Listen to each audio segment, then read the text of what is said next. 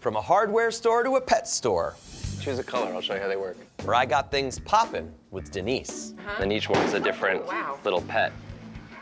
Yeah, this one's a There's finch. real animal in there. Yeah. How do you get them in there?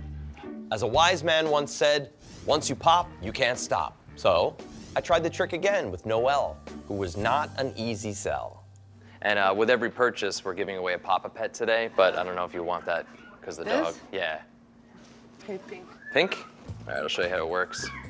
It's a balloon, and then on the end of it, there's a little uh, pin, and then you pop it, and there's different pets inside. Oh. Yeah. Whoop. Why did you put them there? They don't die? Hmm? They don't die? No, look at them. They love that. The latex acts like an egg. It's like a latex membrane. Oh. But what we do is when it's any animal that hatches from an egg, they take it the third day of the incubation period and they put it inside the, the balloon. And the balloon acts like an egg. Yeah, yeah. So it's a surprise. You get to take it home and pop different ones and see what pet you got. There's a uh, frog.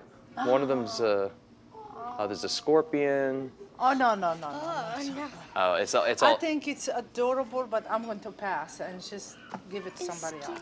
Well, you know what you can do is you could take one home with you and then save it until you get the cage and everything set up and don't pop it. It'll last like three months.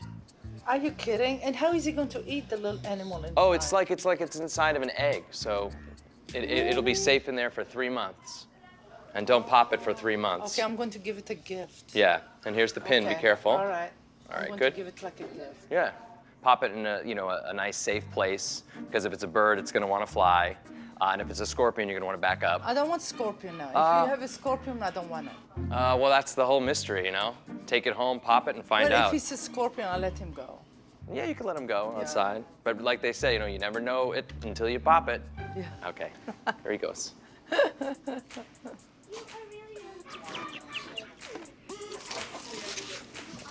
Well, I'm going to take this and see what is inside.